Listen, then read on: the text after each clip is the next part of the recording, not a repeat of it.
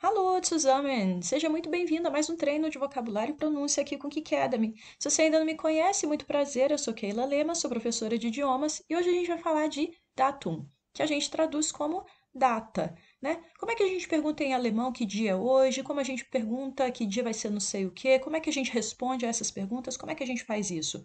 Vamos bater um papo sobre isso? Vamos lá? Então, olha só, a primeira pergunta que a gente tem aqui, né? Welcher Tag ist heute? Que dia é hoje? Welcher Tag ist heute? Né? Você tá ali meio perdido, né, no calendário, não, não tá lembrando muito bem que dia é hoje, aí você pergunta, welcher Tag ist heute? Ou se alguém te perguntar, né, você já sabe o que quer dizer. A pessoa está querendo saber que dia é hoje. Como é que a gente responde a essa pergunta, hein? Vamos ver? Olha lá. Heute ist der 1. Dezember 2021. Heute, hoje, ist der erste, é o dia 1 Dezember, de dezembro de 2021, 2021. Peguei a data de hoje mesmo como exemplo. Aqui, olha, uh, é Mittwoch, né, quarta-feira. Olha só, uma coisa interessante do alemão é que a gente sempre vai falar da data como dia ordinário, né? Nos, com os números ordinários, o primeiro, segundo, terceiro, quarto, até o dia 31, a gente sempre vai falar o número ordinário. Em português, a gente só fala o ordinário sendo dia primeiro, né? O dia primeiro. A partir do dia 2, a gente fala normal, né? Uh, hoje é dia 2, dia 3, dia 4. Em alemão, não. Em alemão a gente fala hoje é o dia primeiro, hoje é o dia segundo, hoje é o dia terceiro, hoje é o dia quarto. É sempre assim, os números ordinários. Eu tenho uma tabelinha aqui, olha, para a gente dar uma olhada, Ordinalzahlen, né? números ordinários. Quando a gente tem esse tipo de pergunta aqui, welcher Tag ist heute? A gente vai dar uma resposta usando o caso nominativo. Heute ist der 1. Dezember. Eu usei aqui o nominativo para responder a essa pergunta.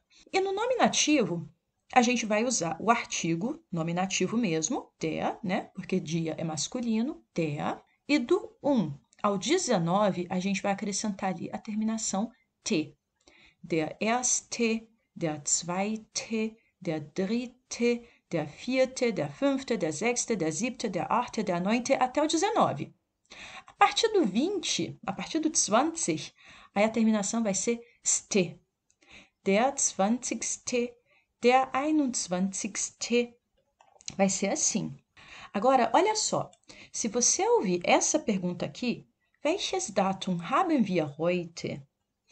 Qual data nós temos hoje? Que na verdade quer dizer a mesma coisa que essa pergunta aqui. Welcher Tag ist heute? Welches Datum haben wir heute? Que data nós temos hoje? Talvez uma diferença mínima, sim, por, por, pela palavra tag ser mais abrangente. Talvez a pessoa esteja achando que você está falando do dia da semana, é uma diferença mínima. Mas essa diferença mínima à parte, isso aqui praticamente quer dizer a mesma coisa. Que data nós temos hoje?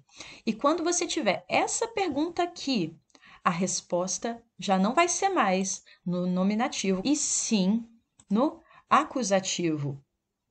Heute haben wir den 1. Dezember 2021. Olha só, onde era der, onde era der, virou agora den porque agora a gente está usando o nosso caso acusativo e não o nominativo mais. Isso também vai acontecer quando você tiver, por exemplo, algum texto, né, algum, por exemplo, um contrato que você precisa assinar, onde é necessário que você escreva o local e a data, sabe? Quando for esse tipo de situação, a gente também vai usar o acusativo. Por exemplo, aqui, né, eu dei aqui o nome da vilazinha onde eu moro, Grafenwiesen, den 1.12.2021. Né? Se eu estiver conversando com a pessoa, eu vou pronunciar essa data aqui dessa forma. Den 1. Aqui o dia, né, dia 1 12. Aqui o mês, é o mês 12, né? 2021 é aqui o ano. Ok? E olha só, quando a gente tiver o acusativo, a terminação vai ser ten. Né? Heute haben wir den 1. Dezember. Então, do dia 1 ao dia 19, a terminação vai ser ten. Den 1., den 2., den 3., den 4., den 5. e assim por diante. A partir do 20, a terminação vai ser sten. 20. 21. Ok? Sempre essa terminação. Agora, olha só. E quando a gente tiver esse tipo de pergunta assim? Por exemplo, essa aqui, olha. Wann hast du Geburtstag? Quando você faz aniversário? Wann hast du Geburtstag? Ou seja, qualquer outra coisa, né? Wann ist die Feier? Oder wann ist das Fest? Wann ist der Termin? Quando a gente tiver esse tipo de pergunta, a resposta será usando am. Aqui a pergunta é: Wann hast du Geburtstag? Quando você faz aniversário? Am 24. Dezember. Eu peguei aqui a data de aniversário da minha mãe, que eu acho essa, que eu acho essa data de aniversário linda, né? Ela faz aniversário ali no, na véspera de Natal, né? E olha só, am 24. Dezember. Ela faz aniversário no dia 24 de dezembro, am 24. Dezember. Quando a gente estiver respondendo dessa forma, com essa resposta aqui, a gente está usando o caso dativo. Am. Porque o am é a junção da preposição an mais o artigo dem. Juntou an, dem, ficou am. E isso é dativo. Então, como é que fica a terminação dos números ordinários quando a gente usa o caso dativo? Fica bem parecido ali com o acusativo mesmo. O acusativo termina com ten e sten, não é isso? No dativo também termina com ten e sten. Só que, ao invés de den, como no acusativo, vamos usar aqui am. Então, am ersten, am zweiten, am dritten, am vierten, am fünften, am sechsten, am zwanzigsten, olha só, a partir do 20, am zwanzigsten, am einundzwanzigsten, no dia 21, e assim por diante, ok? Agora eu tenho uma pergunta para você. Wann hast du Geburtstag? Deixa nos comentários aqui para mim que eu quero saber. Wann hast du Geburtstag?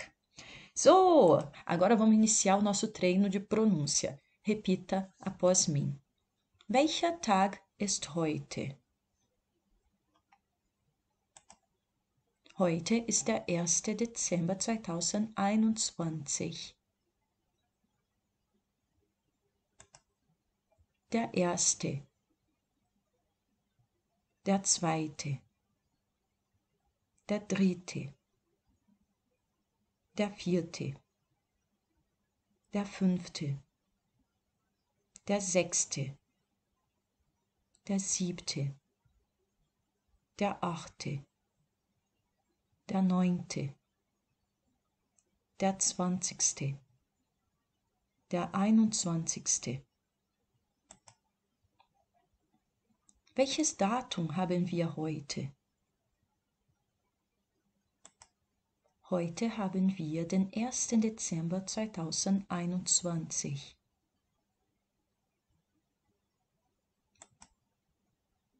Den ersten den zweiten, den dritten, den vierten, den fünften, den sechsten, den siebten, den achten, den neunten, den zwanzigsten, den einundzwanzigsten.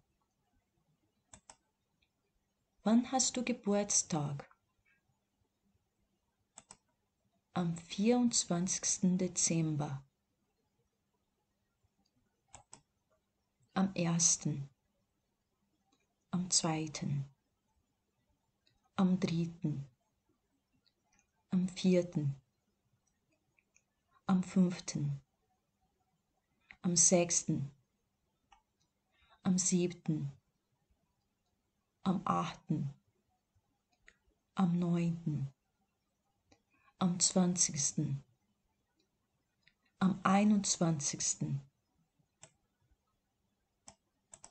Se você gostou do vídeo, deixa o seu like aqui para mim, se inscreve no canal se você ainda não for inscrito, ativa o sininho para você não perder as notificações e vem fazer parte da família que eu quero muito você aqui comigo.